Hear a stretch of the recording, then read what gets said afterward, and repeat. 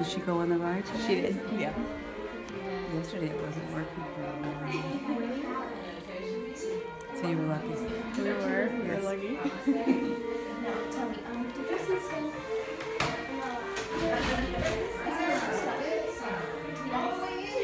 I decorate Sven's antlers too, he tends to eat the decorations last.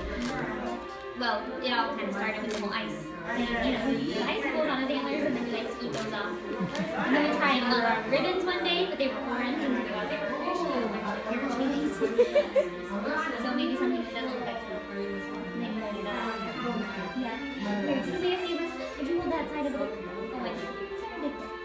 Maybe. I said my thanks my sister. Is that alright? Oh, no. Can you hold that for me?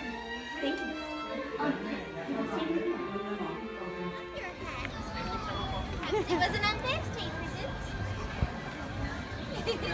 you know, he made me a hat too for my last unbirthday party. Well, guess how tall it was? Oh, ten miles high. Oh, that's a very tall hat. It took lots of practice. You, well, where did you see him? I've been looking for him all day long. I don't remember. You don't remember? well, where was he? Well, that was three years ago. But that was three years ago. My goodness. Well, perhaps we'll never catch him now. I thought I saw him this morning, but then I lost him. Will you keep an eye out for me? Thank you. And God bless you and send you a happy new year. You a happy